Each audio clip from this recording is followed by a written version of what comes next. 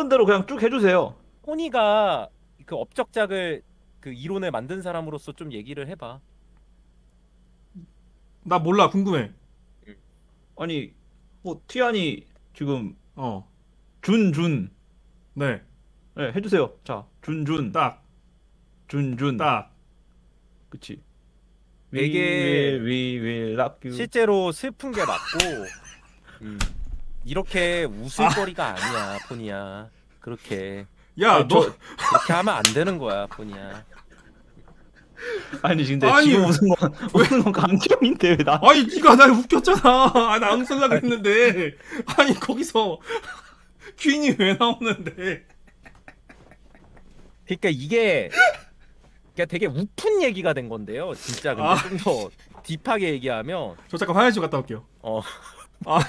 화장실 진짜